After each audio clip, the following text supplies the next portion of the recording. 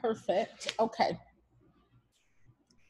So we are back and I don't have any messages, so it looks like everyone was able to use this link gratefully. So what I want to do is I just want to talk a little bit more about the contraindications for peels and I want to talk about the different peels that we have in the clarity line as well as the de-incrustation gel the glycolic, the salicylic, and the cherry peel, which is absolutely my favorite. I also want to talk about different um, skin types and conditions to where you need to approach with the chemical peel, how to set expectations for chemical peels, and what what it means to do proper aftercare for not only yourself but for the client. So give me just a second. I will share my screen.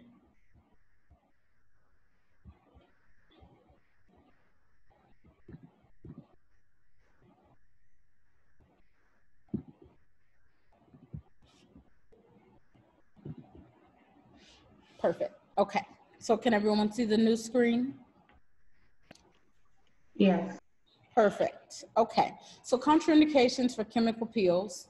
If you did not know, or if, if you hadn't done the pre-peel assignment, a chemical peel is really a skin resurfacing procedure in which a chemical solution is applied to the skin to remove the top layers.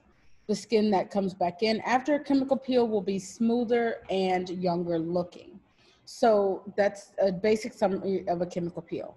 You can use a chemical peel to treat current acne outbreaks, prevent acne, wrinkles, pigmentation, and scarring. And you can apply chemical peels on the face, but you can also use them on the chest and the back.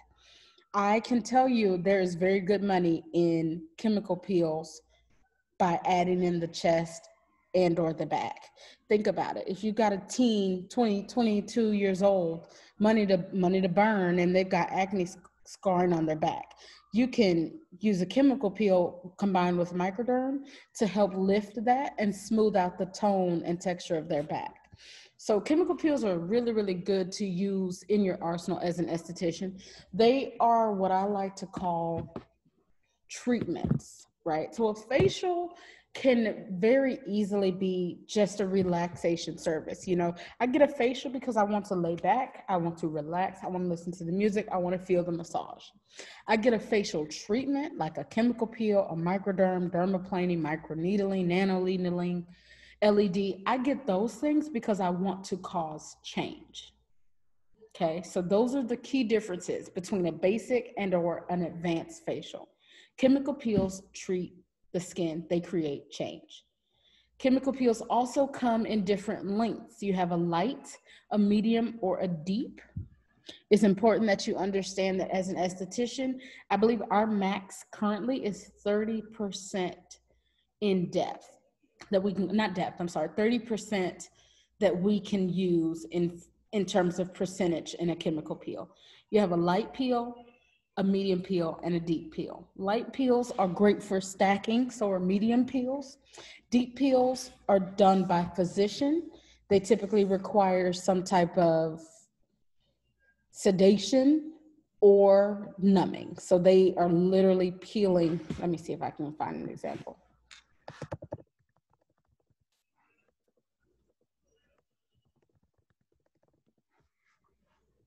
Let's see.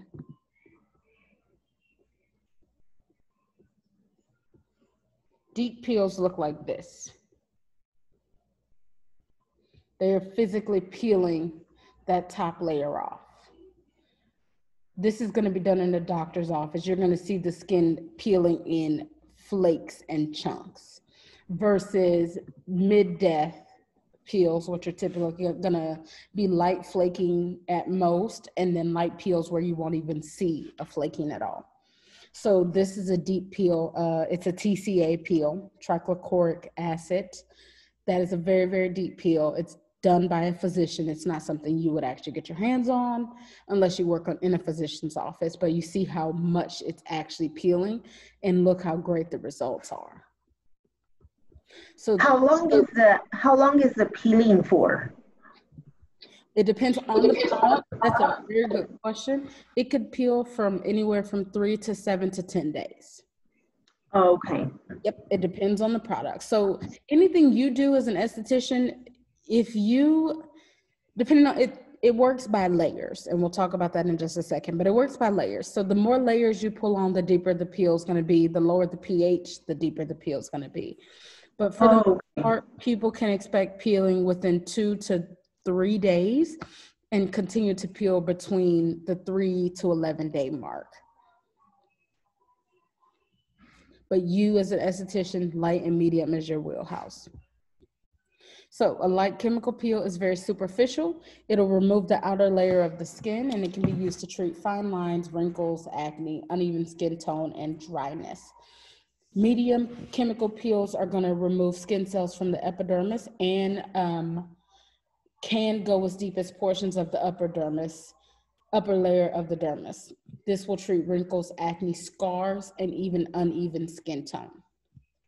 Deep peels, which are performed by a physician, are going to be um, affecting the dermis, which is live skin. They're going to be recommended by a physician and they're going to treat deeper wrinkles, scarring, uh, precancerous growths, pigmentation, you name it, a deep peel is going to going to treat that. Um, deep peels are amazing. They're only recommended once a year, once every two years at that whereas a light peel can be done every two to three weeks for six a series of six treatments versus a chemical peel that can be done every three to six weeks for a six week series so a lot of people do their peels from a business standpoint as series so you'll hear me reference it as a series i recommend you always selling your chemical peels if they are going to be light in a series of six so every one to two weeks, they come in and get a peel for six weeks. Medium once a quarter, and then deep again under a physician once a year. Let's talk a little bit about some contraindications. So, can someone read the first uh, contraindication? Uh, use of Accutane Retin-A or other medications that exfoliate or thin the skin within, within six months. Perfect. So the reason that is, is because Accutane, Retin-A, and other medications that, like they said, exfoliate or thin the skin, they compromise the top layer of skin. So you have less dead skin, your skin is thinner, your skin is weaker. So I might, let's say I take Accutane for two years my skin is going to be very different than if I hadn't taken Accutane in consistency, texture, ability to prevent inflammation, a whole bunch of things, right? So my skin is compromised. If I do a light chemical peel, it may respond like a medium chemical peel and so on and so forth. So it is important that if a client is using any medical grade exfoliation type products or taking any medical grade uh, any products that are medical grade that they do not get a chemical peel for at least six to 12 months, depending on how long they've been taking it. Write that down, that's very important. The next one, recent cosmetic surgery, laser resurfacing, deeper medium depth chemical peels, or dermabrasion. So I'm gonna give you a time frame in which you can do uh, repeat services. Please write this down. Light peels, you can do light peels once a week for six weeks. And then every six weeks from there. Medium chemical peels. You can do one peel every three to four weeks for six services, so for six sets, and then once a quarter from there. Can you repeat that one again, please? For medium depth chemical peels, you can do one peel every three to four weeks for a series of six peels. So every three weeks for six, every three weeks, six times, you can do a chemical peel. And then from there, once a quarter. So once every 90 days. And that's light to medium, medium. Claire. Yes, ma'am. Sorry to interrupt you. Did you say, um, I don't know if you've talked about um, women of color being able to get that. Did you say darker skinned women can get that? So I hadn't talked about uh, Fitzpatrick yet. Good question. Okay. Um, so chemical peels work differently on different skin types. And when we talk about each individual peel, we will talk about why and what uh, skin colors can and cannot get what. That Okay. is called the Fitzpatrick scale, and it's going to be an assignment. So for y'all on the call, it'll be an extra hours assignment. For those listening to the replay, it'll be required. So we will talk about different skin tones and um, what peels you can get. Good question. Claire, Yes, ma'am. on you explaining the time frame of each, the light and then the light to medium. Can you can you tell me what the light one was again? Was it one to four weeks or one to? Once every week for the first six weeks, Okay, and then once every uh, four weeks from there. okay,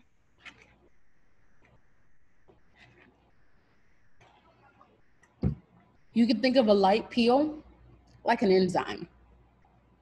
okay, Okay. So then, and the deep peels, um, I would say once a year, but that is up to physician's recommendation. You will not perform a deep peel unless you work in a medical practice.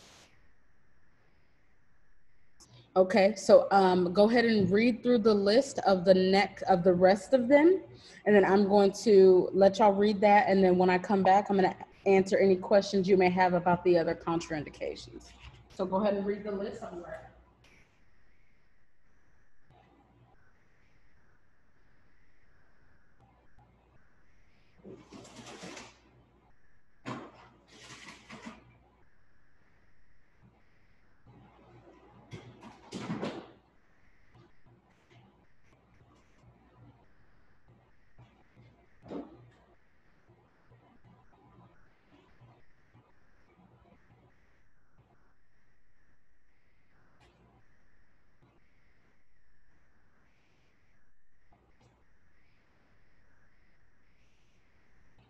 Okay. So does anybody have any questions about any of the other con- uh, contraindications? All of them make sense? Anything not make sense? Um, I do have a question. oh, Sorry. Okay, go ahead, Kiana. For um, diabetes, kind of like with some um, some like treatments you're able like as long as it's under control, you're able to do it on someone who has diabetes. Is that the same for this one, or no, you can't do it at all? With the physician's letter, and I would only do light to medium. Okay. Um, and that's simply because di- exfoliating is controlled wound healing. You're wounding the skin to force it to regenerate. Someone with diabetes, their, their body does not heal itself the same or as quickly as someone without diabetes. So introducing controlled wounds where I'm not gonna say normal, a healthy client may heal in three to seven days. Someone with diabetes may take three weeks. You don't want a client walking around into the environment with exposed skin cells for three weeks. It's just not worth the time. So with, when it comes to things like diabetes, heart, heart disease, um, I would absolutely get a physician's note, just saying the physician has said this client has been in their care and that they don't see any reason they cannot have, you know, a chemical peel. That way, it just kind of covers you insurance wise if something does go wrong. So, any other contraindication questions when it comes to peels? Can you explain uh, the deficient immune system?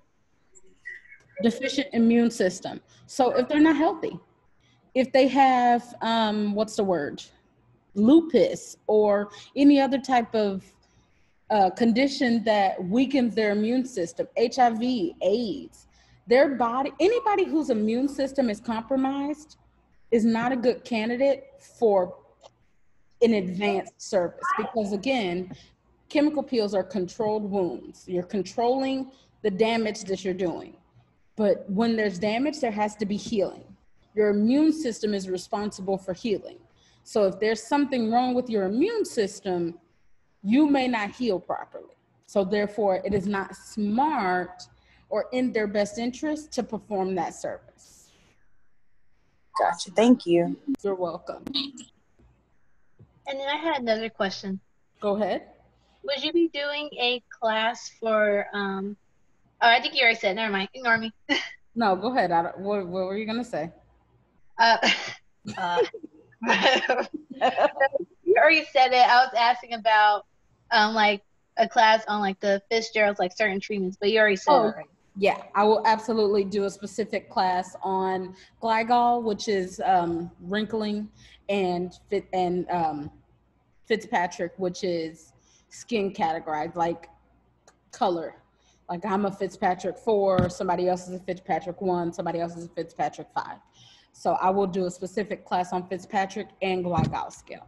Those are advanced topics, so I'll uh, do it. I'll make a link for it in a day and a time, and I'll invite you all to it. That's still a good question. It's okay. And I didn't write it down, so therefore. Fitzpatrick. Perfect. Okay, that's down. Any more questions before I move on to the next little tidbit? Fantastic. Okay, as you see here, it says some protection is vital to successful results. Again, controlled wound healing. You talk, we talked about the layers of the skin, the epidermis, the dermis, and the subcutaneous, right? The epidermis is dead skin. That's that's our wheelhouse. That's what we see, touch, and manipulate. When you perform a chemical peel, you are stripping away layers of the epidermis. The deeper the peel, the more layers you strip away. The sun produces light rays, both UVA or UV aging rays, ultraviolet aging rays, or UVB, ultraviolet burning rays. Both of those things sound awful.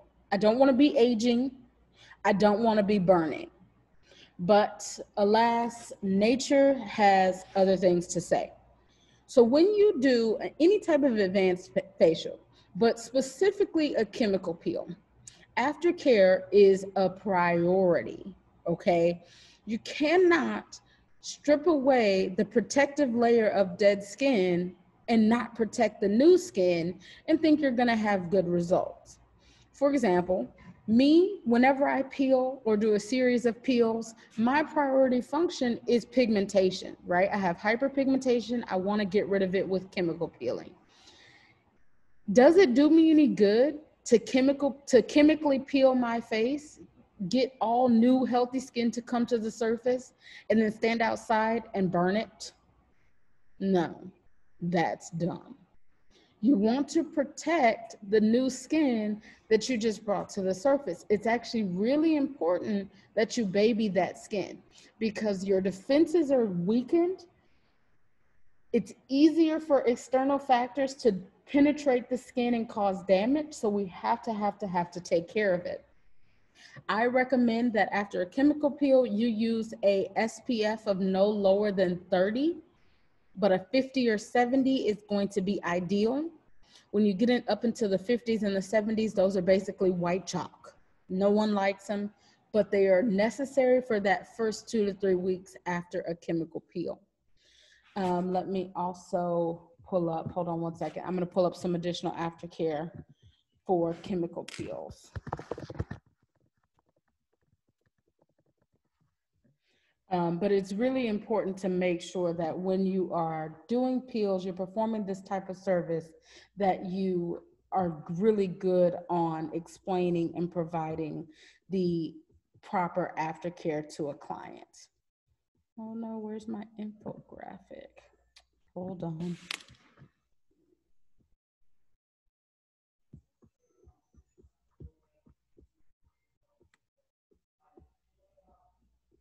Okay, I don't see my infographic, so I'm gonna put it in the notes to myself to send it to you all for aftercare.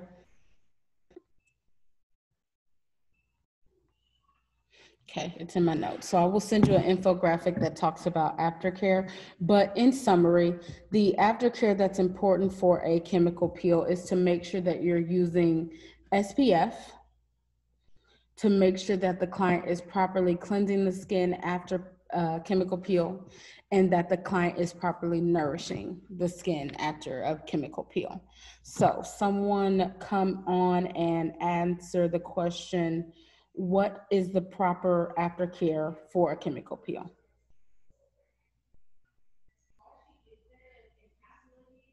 Um, uh, the use of SPF no less than 30, um, but you said like 50 to 70 was ideal.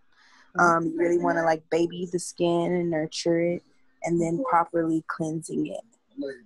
Absolutely. So hydrate and nurture the skin, making sure that you're putting in good serums, vitamin A, vitamin C, vitamin D, making sure that you're using um, hyaluronic acids, you're using uh, serums that are good for pigmentation. If pigmentation's your goal, you're using oligonucleotides. If acne is control is your goal, whatever your goal is, you want to make sure you're nourishing with those type of serums and, and masks. You also want to make sure you're properly cleansing the skin so that you are removing any physical dirt or debris as well as makeup and things like that. There are chemicals and products in our makeup that we don't want to negatively penetrate the skin now that it's been exposed. And you also want to make sure you protect it with a, proper SPF of at least 30%, but as high as you can get it. It's also important to make sure that the client does not manipulate the skin or get any other advanced treatments for a, a set of time. So, depending on the peel that you use, you want to wait a certain amount of time before they do any other advanced treatment. So, with a light peel, that time is about seven days. With a medium peel, they want to wait uh, seven to 14. And with a deep peel, they're going to want to go with their doctor's recommendation.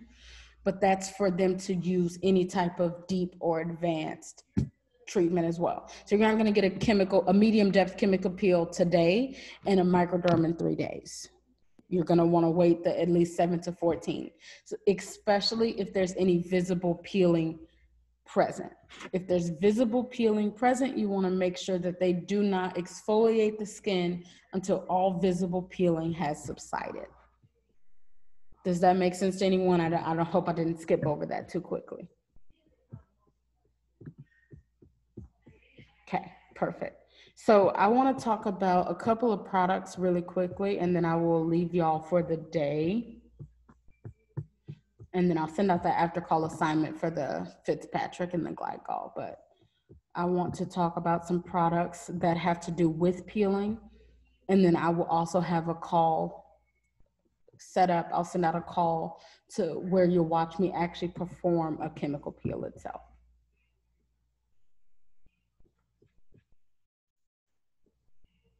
And let's find Zoom. Perfect.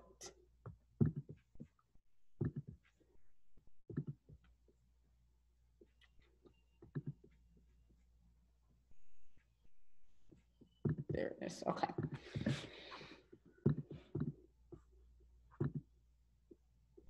Pardon the um, layout. I can't get the newest version of this to download, so we're gonna have to use the the temporary version.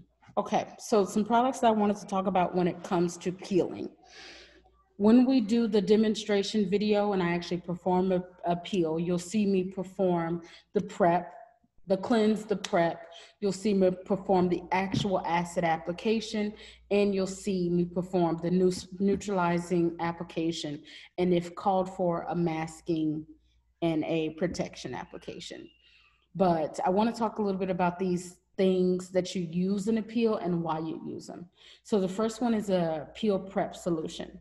A peel prep solution is a liquid solution. It's typically um, or in our case, it's a light alpha hydroxy acid solution.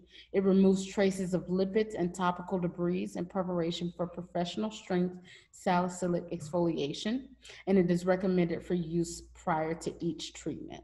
So our pre-prep solution is recommended for our alpha hydroxy acids. It removes trace amounts of lipid and topical debris. Does anybody know what a lipid is? If you don't know what it is, Google it and read it out loud for us. Is it a fat? Exactly. Lipids are fats in the skin. Oils, fats, they're it's naturally occurring in our skin. Lipids are going to prevent the acid from working its best, so we want to remove it. Pre, uh, peel prep solution is also really good to use as a dehydrator before any advanced exfoliation. So you can use the peel prep solution before microderm if you'd like to, because it is an alpha hydroxy acid. So it's going to remove traces of uh, lipids, fatty acids, and any topical debris not removed from cleansing.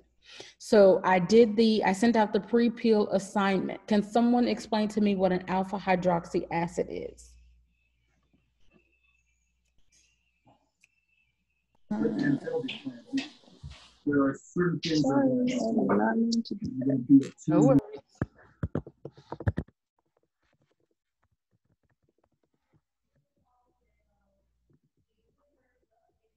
Oh, Hold on one second. Those are the ones that are plant derived, right? And then the other ones are from animals or I mean not animals, but they're made.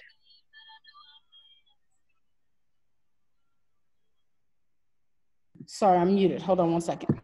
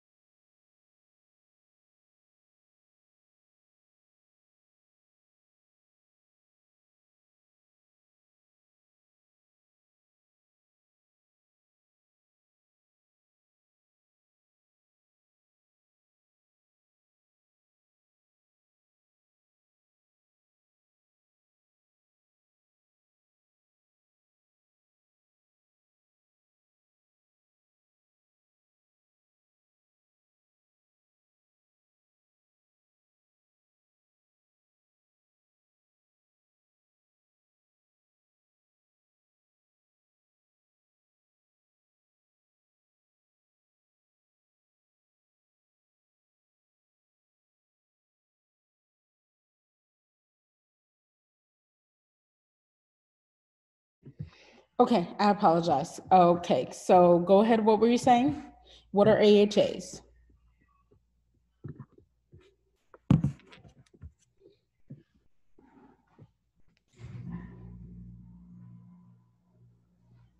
Is it anyone or you just? Oh yeah, anyone. I'm sorry, I, I interrupted somebody. So whoever was talking, feel free to pipe back in if you are if you don't want to. Anybody can say what an AHA is, and I have it pulled up on the screen as well. It sounded like Serena, but I'll go ahead and it, it, they're like the natural occurring mild acids. Okay, so AHAs are a group of acids. They're called alpha hydroxy acids. It's not just one type of acid, it is a group of acids. So AHAs are natural and can be natural and or synthetic. And they are going to be derived from things like apples, lactic acid, um, not, I'm sorry, not lactic acid, that's lactic acid. So things like apples, fruit acids, things like that. So AHAs are gonna be your alpha hydroxy acids.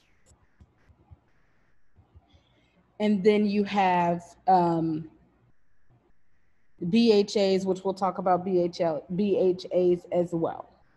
So a list of, a full list of alpha hydroxy, alpha hydroxy, Jesus, I cannot speak today acids are going to be, let me pull up a list.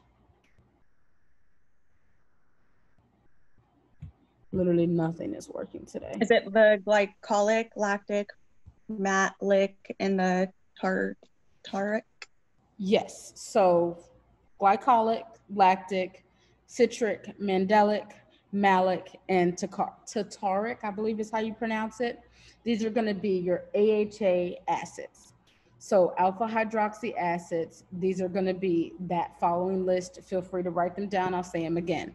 Glycolic, lactic, citric, mandelic, malic, and tartaric, I believe is how you say it. So if you have AHAs, then you also have BHAs. Does anybody know what BHAs are?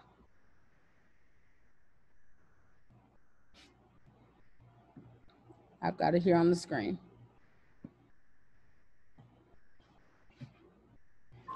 They're like the milder version of the AHAs. But not just milder, what else? So dig a little deeper.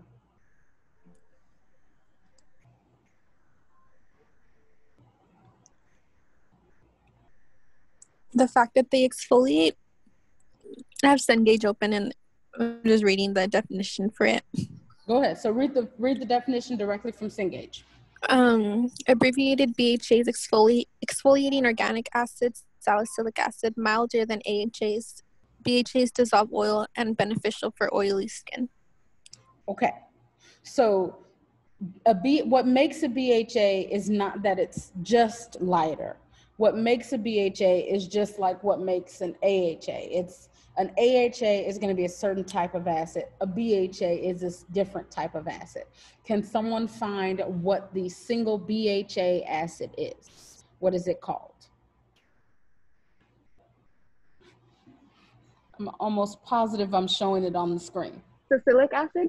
Salicylic acid, absolutely. Or salicylic, sorry. Salicylic. So you have AHAs, which are going to be your glycolics, your lactics, your um, malic, your tartaric, your uh, what's the other one here? Um, mandelic, and your citric acid. Each one of those acids are derived from different things. So we talked about contraindications, right? Things that mean you can't perform that service. So if someone is coming in and they want a chemical peel to help with acne, what chemical, which one of them would you use? An AHA or a BHA? Let's you use a BHA. A BHA. Okay, a BHA. Why?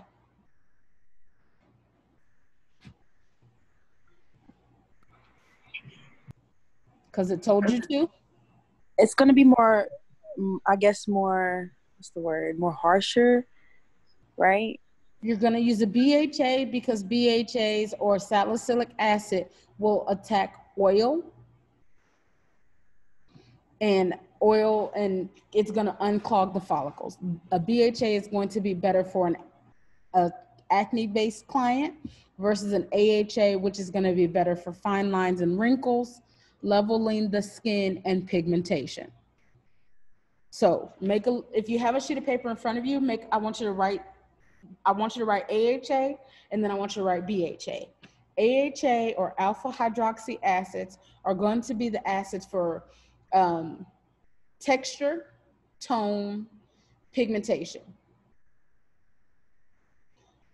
like fine lines and wrinkles, things like that. Salicylic or BHAs are going to be more so for decongestion, acne, unclogging the pores, things like that. So I will use, let's say, glycolic. Actually, I know y'all have the answer because y'all some of y'all emailed it to me. So look at the answer, look at the thing that you emailed for your assignment and someone tell me what glycolic is derived from. Sugar cane? Uh, is that the sugar cane? Yep, sugar cane it is. Both of y'all had it right.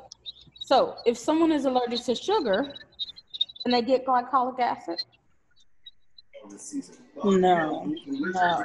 If I was allergic to sugar, by the way, you might as well just, just, I can't, I can't, I can't. But sugar cane is what glycolic acid is derived from. What about lactic acid? What is lactic acid derived from? Sweet birch, willow bark, and wintergreen. You sure? Milk. That's salicylic acid. Never mind. yeah, no worries. So lactic acid is derived from milk. Very good. Now, one I know there is one that's derived from sweet birch willow, um, willow, but I don't think it's the lactic. I have to look it up though. I don't know it off the top of my head.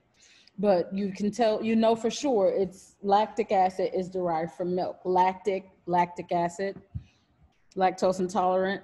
If someone is allergic to milk, would you use lactic acid? No. No. No. What could you use instead of lactic acid?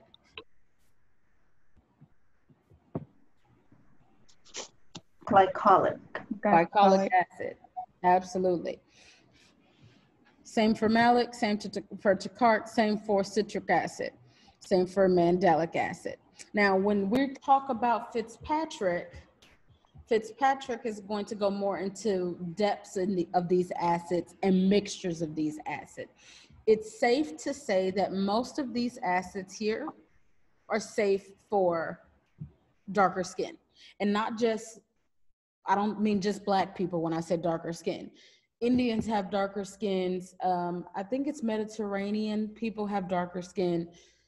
It's their Fitzpatrick, not necessarily just the color. So keep that in mind when we go back and talk about um, cannot think today. We'll go th- back and talk about Fitzpatrick and what acids can be used on who. Just know light to mild versions of all AHAs and all BHAs can typically be used on darker skin without a problem. So then let's go. We talked a little bit about those acids in general, but I want to pull up. I want to pull up the actual acids that we provide, and I want to show you how to approach an acid and determine if it's going to be what you need for your client. Bruh, please. Thank you.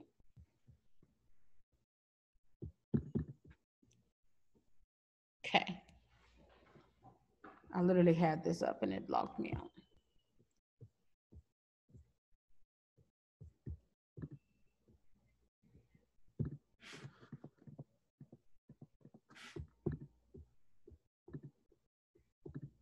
There we go.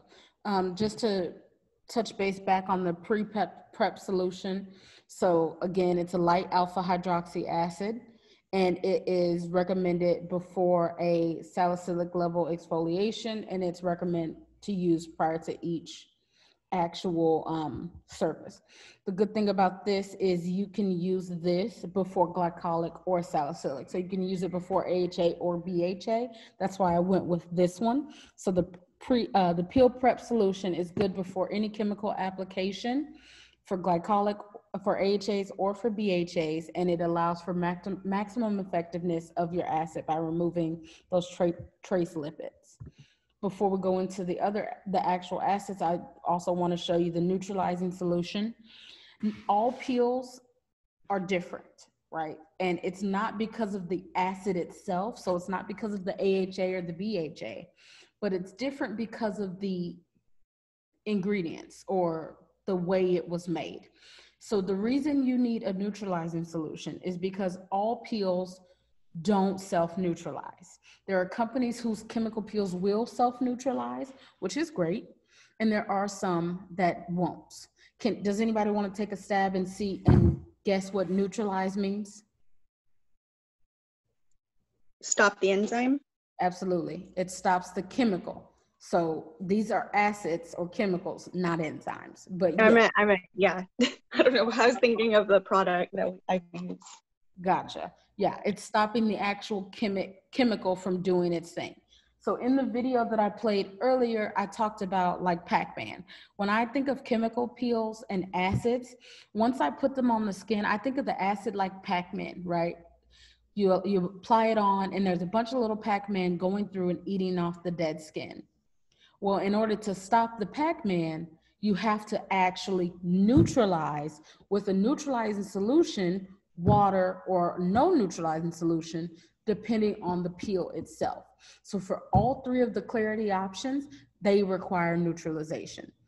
Water alone will not immediately stop the action of the glycolic the salicylic or the cherry this solution quickly raises the alkalinity of the skin, preventing possible redness and irritation, which will result from prolonged exposure to the skin.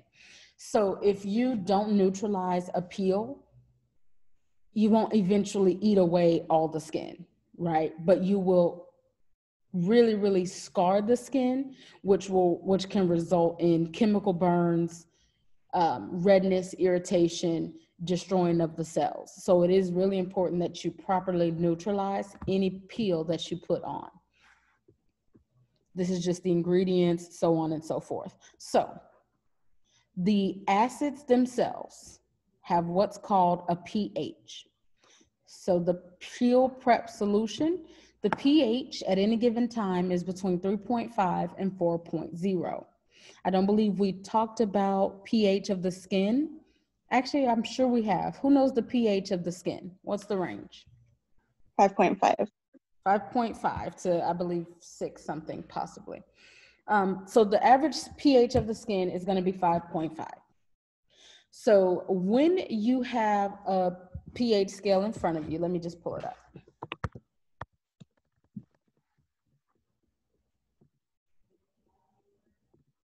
Okay.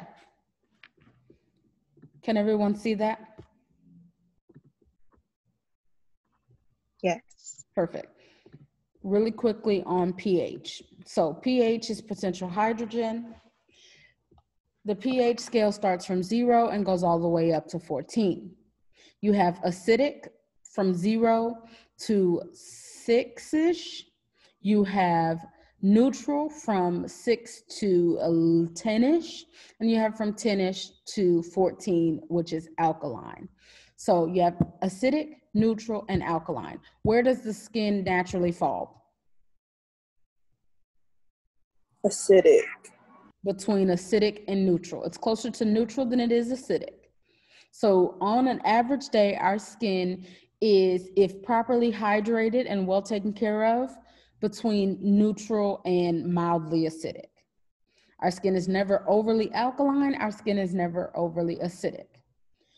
The key to a chemical peel is not the acid itself, but it's the proper acid with the proper amount of passes and the proper pH. So our peel prep solution preps the skin, right? It's removing that top layer of lipids and topical debris. So the pH is lower. You're looking at 3.5 to 4.0. 3.5 to 4.0. So you're dropping yourself down about one to two points, right? From your natural skin here to here. You'll feel mild tingling, mild stinging. It shouldn't itch, it shouldn't burn. If someone overreacts when you put on the peel prep solution, do you think they're a good candidate for a chemical peel? No. No. Absolutely not. Their skin is too sensitive. A peel is not recommended for them. The pre- prep solution is really beneficial because it lowers the pH incrementally as opposed to going from 5.5 to 2. The neutralizing solution does the exact opposite. It brings it back up, effectively stopping the acid from working. Does everyone understand that so far? Yes. Yes. Very interesting. Yeah, it, yeah. it is actually very interesting because what you did, what I did not know for the longest time is all this is, is baking soda. Does everyone see this ingredient right here? Mm-hmm. Yes. What did you, you say it was? Baking soda. You can oh, wow. neutralize a chemical peel with baking soda. The only reason I chose not to go that route is one because the people using it are learning, but two because you have to mix baking soda one to one. And if your numbers are off, it's not as effective versus having a ready-made neutralizing solution that I know is going to be effective as soon as I put it on. So that is. I only knew that because I garden. you garden? Yes, I do. How do we have a garden in our backyard. Well, because when at the pH levels, I have to I have to monitor the pH of the soil. Ah, so if the pH is too low, you add baking soda. Mm-hmm. Or if it's ah. too high, then I have to get something to raise it. That is so I mean, yeah. I never would have known that.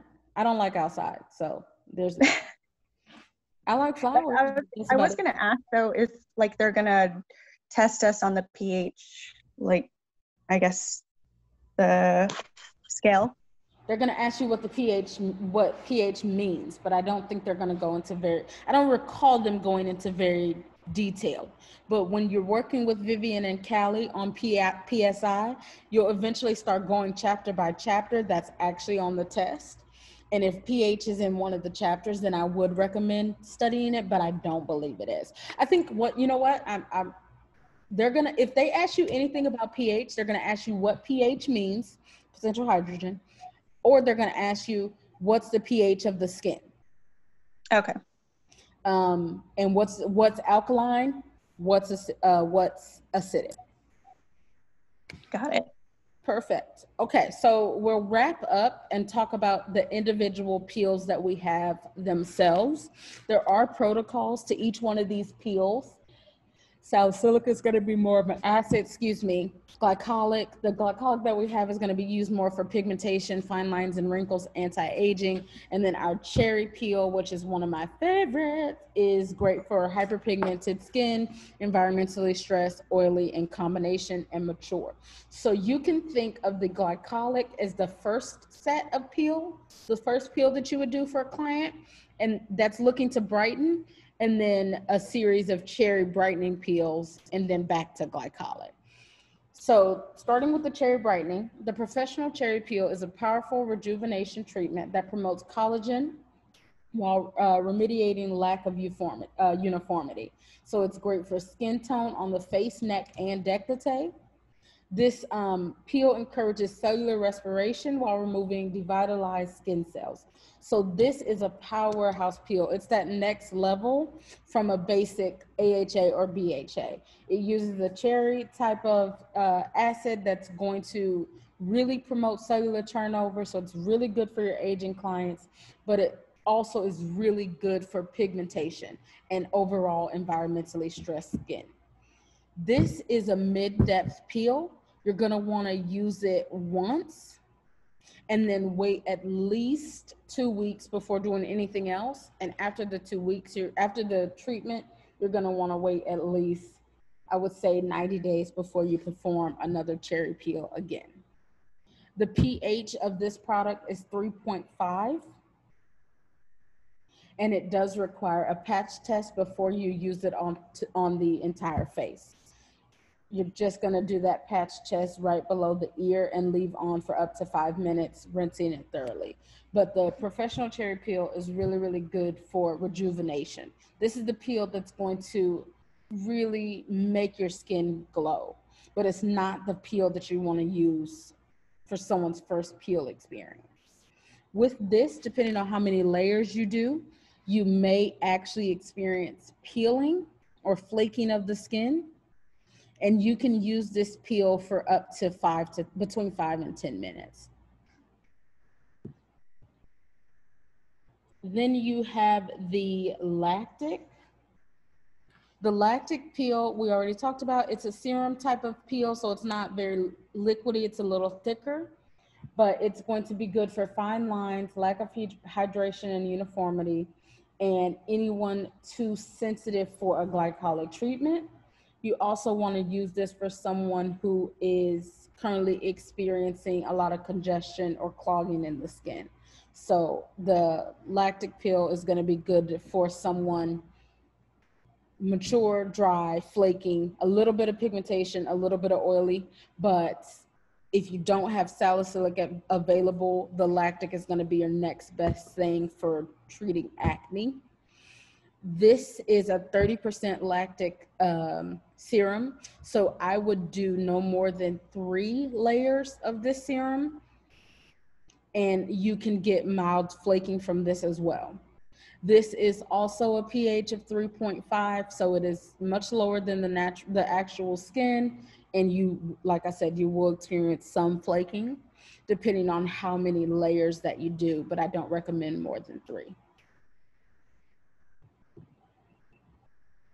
And lastly, the glycolic, overall going to be good for dry, mature, environmentally uh, distressed, hyperpigmented, and that oily skin. This is not at all recommended for sensitive skin.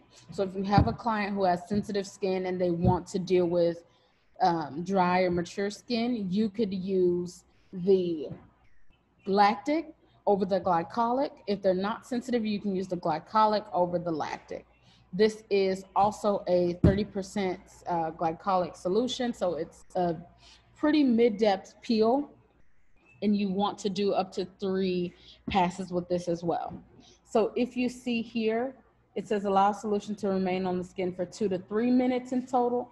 This is pure acid.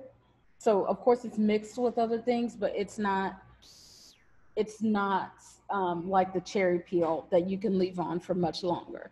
This is gonna give you more acid right away. So you wanna use this by itself no longer than two to three minutes in total, meaning each pass to be about 30 to 60 seconds, two to three passes at a time, depending on the client's skin.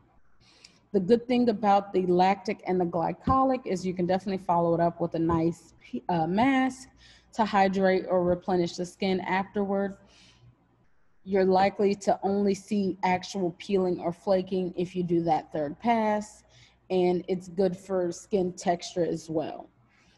This pH is also a 3.5.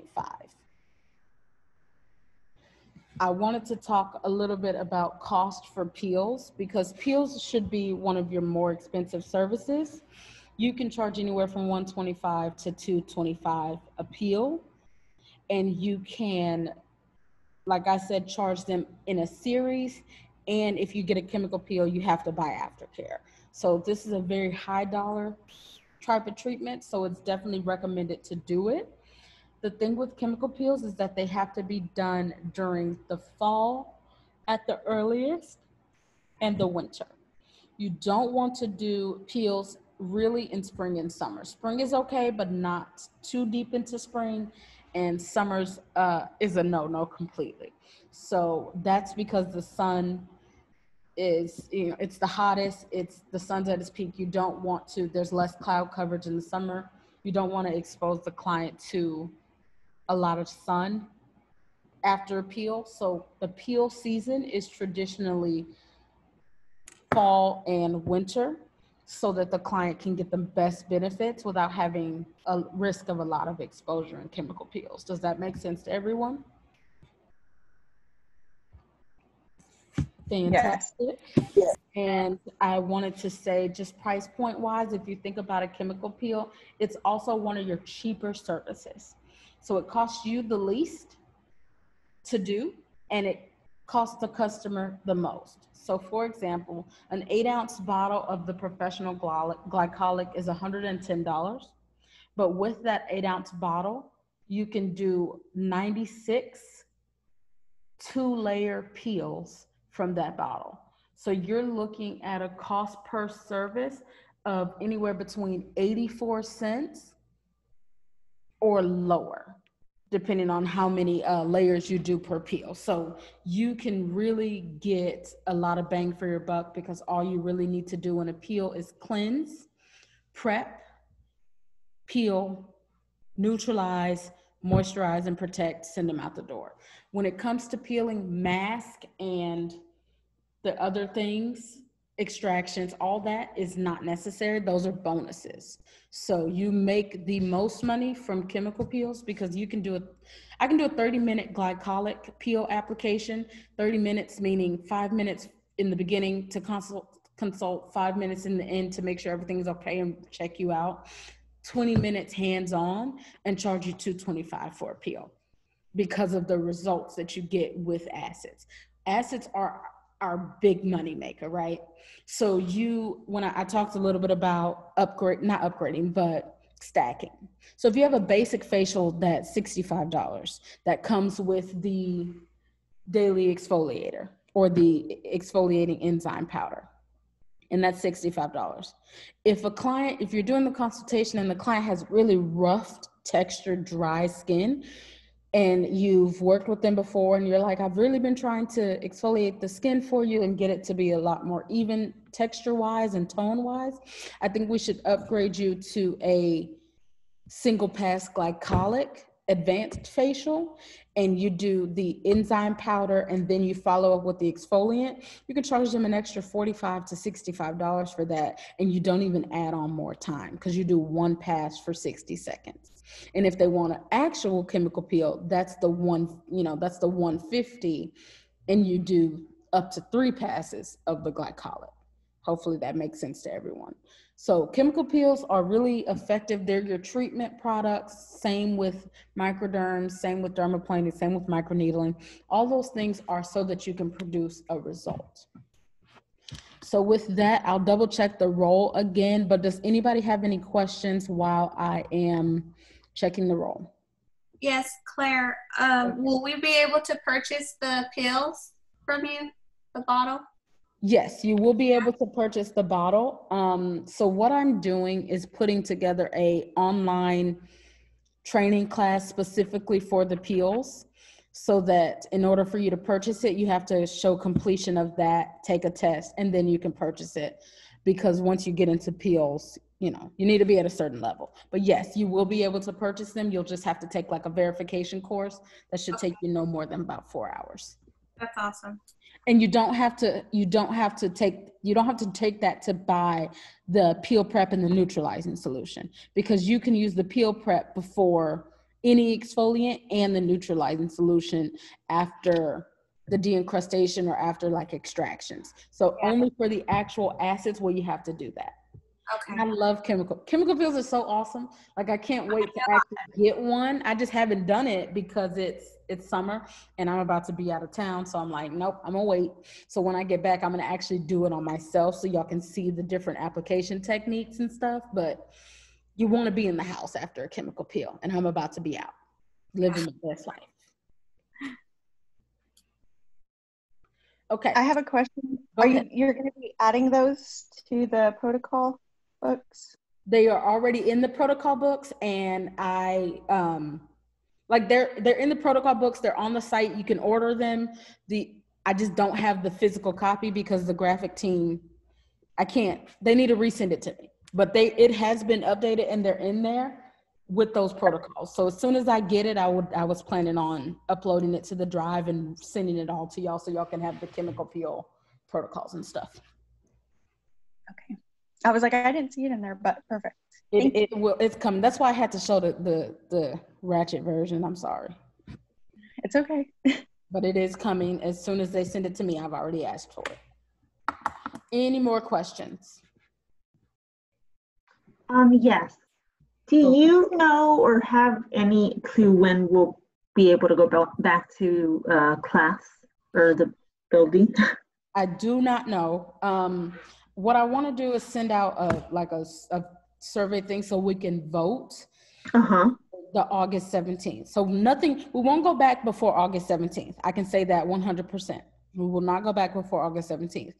But over the next week or so, I will be sending out a survey to get a read to see how many people actually are ready to go back or you know willing to go back and see how I can stagger it or what I can do so that at least starting in August, you know, every other week or every week there's like time frames that people can come into the building and there's only so many people. It's just we can oh, okay. like we did last time. So I want to send out something to see because if if five people want to go back and the other fifty are like, no, I'm fine with the online, we'll continue the online. But I want to put it out there to make it, you know, to make it fair and kind of get a vote and see where everyone is at and not just assume.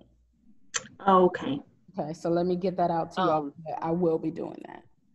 So, so Claire, you know, with with you saying it that way, um, you know you would have like times where people would come back in but you know with with us doing like going back into the office i would only have a certain time i would be able to come in. So right. I mean i wouldn't the staggering wouldn't work for me at all. Right. And that's that's that's one of the problems that i'm running into because how do i say is it yeah. first come first serve? Between 10 and 12 10 people can come, the first 10 people to sign up get that slot. And right. still allow online times. Because the problem is if I say, well, the building is open, but you can still do online, you're going to come one week or one day, and then the next day, you be like, I don't really feel like coming, I'm going to do online. Mm-hmm. You know what I mm-hmm. mean? Like, it, I have to figure out a way that makes it fair for everyone, but actually work logistic wise because we are a very small staff. We can't afford to have somebody in the building just hoping two people show up and and then they don't. So Yeah, we're- I we're was I was gonna figure I was gonna recommend like I wonder if you guys